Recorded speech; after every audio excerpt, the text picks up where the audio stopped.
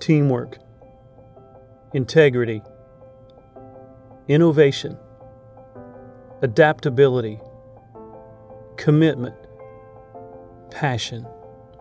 Six words that not only exemplify the heart of Beck's Hybrids, but the family behind it. From the beginning, Francis Beck had a vision to grow better seed. He even coined the statement We aren't selling you a bag of seed, we're selling you a stand of corn. And it's a statement that is still carried out by hundreds of employees decades later. When speaking with Sonny and Scott Beck, you can not only see the passion, but you can hear the concern for the success of our customers. And it's not just the customer's best interest they're committed to, but the happiness of the Beck's employees too. The seemingly tireless work styles of Sonny, Scott, Tony, and Todd Marchand lead to many late nights and weekends. With their trucks parked out front and the building lights turned off, the only illumination is from their offices. And it's not just the late nights, it's the muddy work boots. Many times, if you were to walk into Sonny's office, you might find a pair of muddy boots by the door, and Sonny working in his office in his white socks the average CEO wouldn't be seen like this. But of course, the average CEO wouldn't have muddy boots. But we can't talk about the Beck family without taking some time to reflect on Francis and Pauline. Only a few of us were privileged to meet and work with them, and those of us who did have all learned a lesson or two. From frugality to being a true seedsman, Francis taught us to always do the right thing Francis was a founding father of the seed industry. Highly regarded for his tenacity at growing higher yielding corn, Francis was dedicated to selling the best quality seed with superior customer service. Pauline, as many can remember, was petite and soft spoken. However, she was an integral part of the business, even working as the bookkeeper in the early years. Between her role at Beck's and a variety of community leadership roles, Pauline always had her phone ring into the office so that we could handle her calls when she was away from home. Then, and still today, working at Beck's is truly about being part of the family.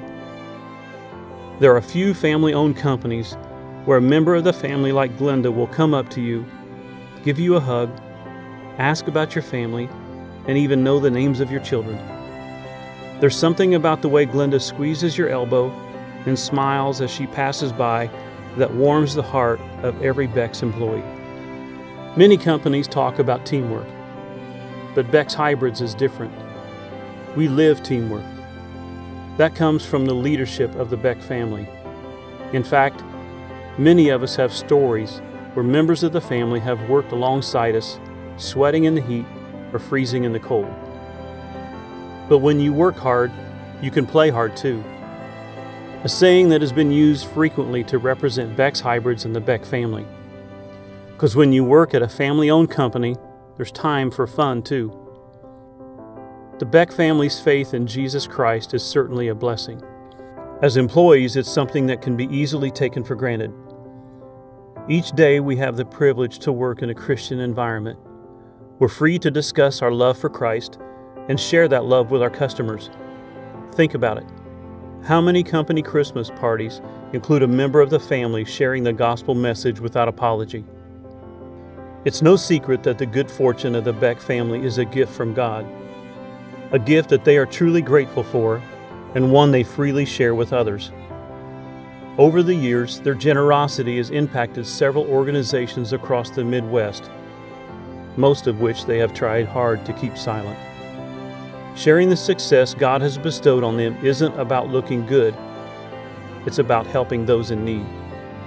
With that type of example set before us, working at Beck's doesn't just make us better employees, it makes us better people. We're led by a humble family whose faith in the Lord guides us each day.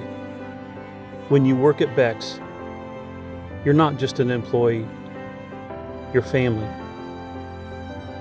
That's why we work at Beck's.